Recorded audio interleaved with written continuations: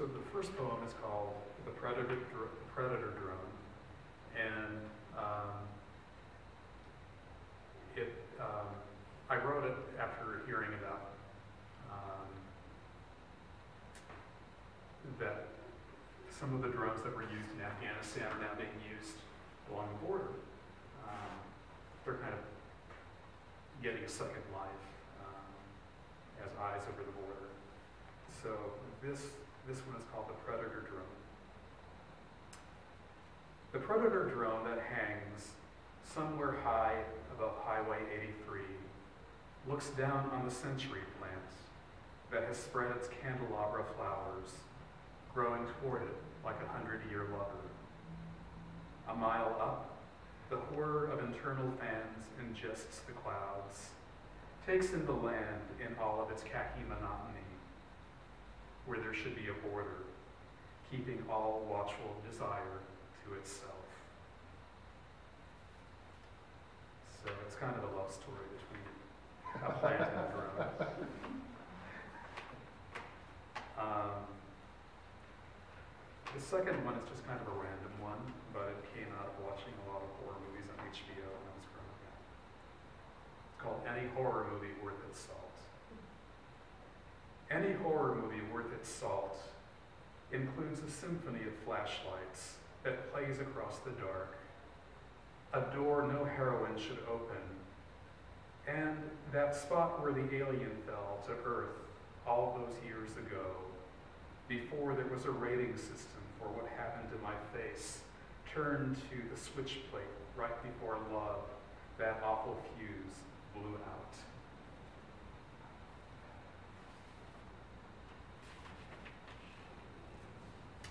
Just making sure that I can to the jiggly flow here. I do. So now we begin to work is to, to go toward more prose poeming kind of pieces. And this one's called The Location Scout. Um, movies get filmed in our neighborhood, and I'm always fascinated with the way that movies kind of come in and take over.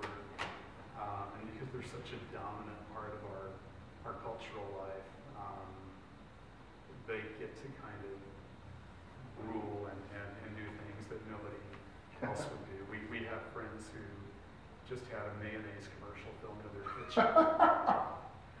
and um, they did all kinds of things to their house, including adding a, a shelf under their, their stairs and, and repainting the entire kitchen. But just um, the way with which capital and production can move in and just completely take over is, is, is kind of an inspiration for this one.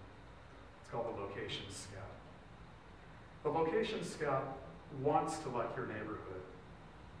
He walks its streets with an eye for how it will fit, fit lunch wagons, the reflectors, the portable generators, for how it will then look, flooded with a gigawatt sunshine, a roach scattering brilliance, making the concrete more actual, that discrete race of giants, the oaks and the pecans, more themselves. What the location scout sees is important because he reports to, to the director. The director, who follows a spaghetti of cables to the stars' trailers to talk them out of air-conditioned seclusion. When they emerge, everyone is glad. This is the very reason movies came to your home. Stars are the most down-to-earth people in the world. That is, until your dog breaks leash to chase the squirrel of your thoughts. Then it is all over. The shoot done. Any chance you had for a cameo, shot.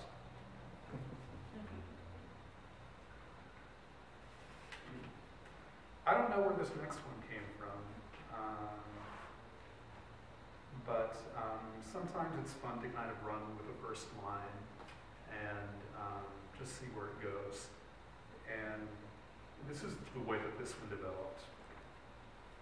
Um, and again, it moves more toward a story than a poem. And it's called I Know Old Time Surfers Who.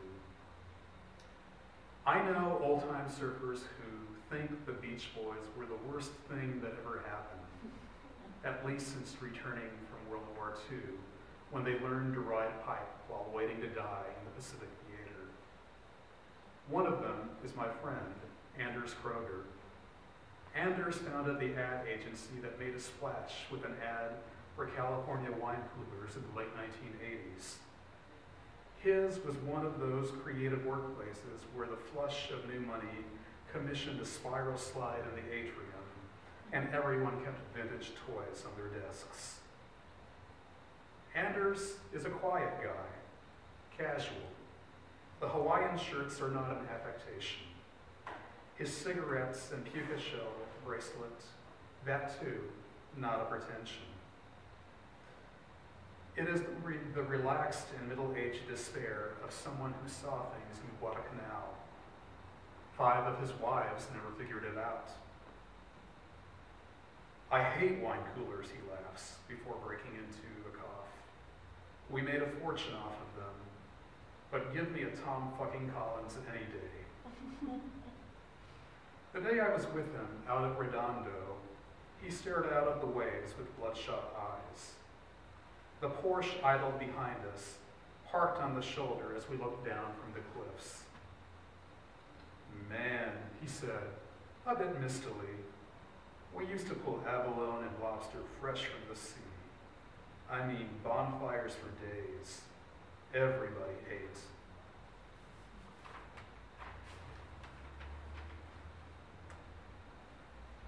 So this final one, uh, which I'm calling Blip, um, was the prologue to the original novel.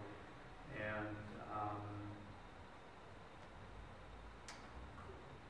it's my family, Um, beginning with where the book began at that time, which was 1880, and my great-grandfather, and a town called Baghdad, Texas, which was just over the border uh, from Brownsville.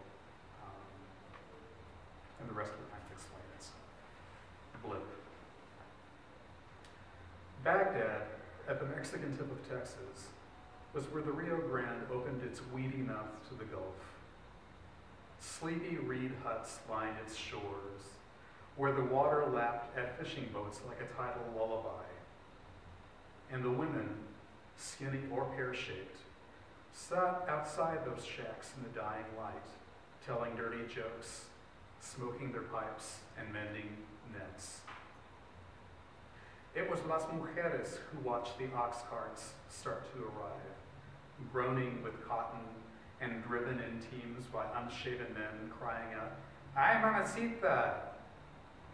Celestina, mi vida! They laughed because men were ridiculous. Soon, bales crowded the beach, extending out along the dim sickle curve of the shore for miles. This was because Baghdad did what Brownsville could not do trade cotton with the rest of the world. Like a river of ants, the wagon trains streamed across the border while the federal gunboats could do nothing but watch. The tent city mushroomed in everyone whites, blacks, Indians, and mulattoes, Union and Confederate, whooped it up along the narrow streets in funny hats. Everyone dirty danced the wicked fandango and then a hurricane wheeled in from the Gulf and wiped it all off the map. Blip. No more signal fires winking along the South Padre Dunes. No more British ships bobbing off shores like burgers, waiting to exchange plantation coffee and regimental gin. Gone. It was all gone. Skiffs and grog shops, whorehouses and stores, teamsters cracking whips, and the forest of ship masts gently tilting against each other as far out as the eye could see. Ni mas, ni modo, bueno by, nothing left behind but splintered wood and shifted sandbars. Not so much as a stupid accounting ledger left, drifting to shore with a brainless jellyfish. It figures South Texas creates its own rolling amnesia. From the beginning, the land told the family, expect occasional annihilation. Live along borders only God can erase. Yeah, what about it? Go to sleep. Bog down with the humidity on coastal flats. Dwell under miles of blanched sky where the sound of your own mind can swallow you whole. Never mind the massive amount of bad faith, which will hover like an unspoken barometric inversion over Anglos and Mexicans for the next 100 years. Today, the oil platforms stand offshore like distant beasts. Medical garbage washes in along South Padre, and brown pelicans groan over the erasing surf. Only the quaint translates north of San Antonio anyway. anyway. Mamacita, Virgencita, Boteria, corn. So go ahead, write the place in primary colors. Hoe it along in simple declarative sentences, one that stay like good little gardeners in the regional. Then seal it off, then seal off the cute little barrio like a borderland snow globe, shaken with mild curiosity on the desk of an editor in New York. And that's that piece of sweetness. Yeah. Thank you.